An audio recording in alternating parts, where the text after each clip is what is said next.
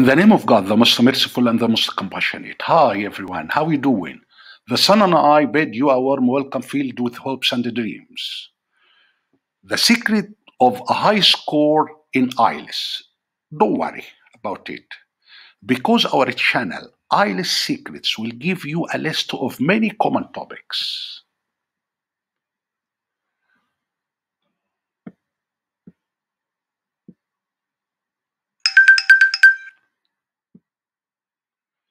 The secret of a high score in IELTS. Our channel IELTS Secrets will give you a list of many common topics.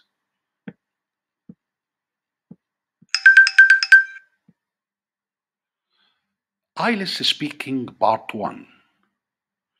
The questions in this part include familiar topics such as home, family, work, studies, and interests.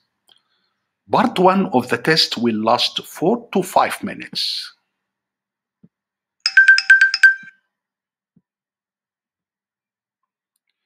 Expand on your answers. If your answers are too short, the examiner will ask you additional questions. Try to expand on your answers. Replying with long and elaborate answers will show that you have confidence.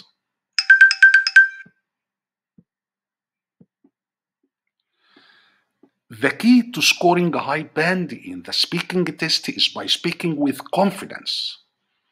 Prepare the questions which the examiner might ask you according to persona topics.